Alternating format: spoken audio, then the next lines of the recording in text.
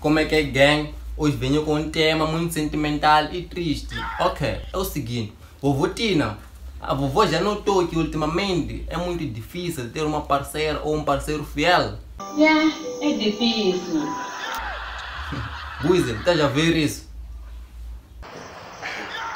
Ei, Alguém tá bebendo aí alguma coisa? Porque esse é um tema que tem que estar acompanhado de qualquer coisa, né? Ei.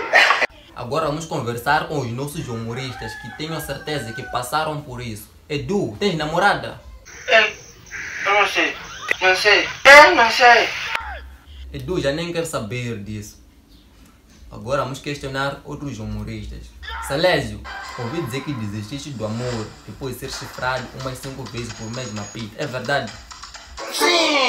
Agora, Chelsea, é verdade que você foi chifrado por uma mulata e te deixaram em 2018 e você guardou a foto da bandida de 2018 até no ano corrente que é 2022? Já pagaste a foto? Não, não, não, tá aqui fora. Ei, ei, vamos ver depois. Luquesta, não te esqueci. Tem namorada? Ei, ei, ei, ei, não começa, bro. Não quero problemas contigo. Ô, Rotina, quando o namoro chega a esses casos, o que acabou nessa relação? É interesse, paixão. O que acabou, bem, Ai, caropa.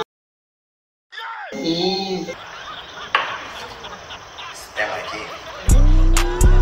Disse que eu sou um fofinho, eu lhe mostro na cama. Coluna torta por causa de chifres, a coluna da dama eu rebendo com D. Ih, Como é que um banana pegou?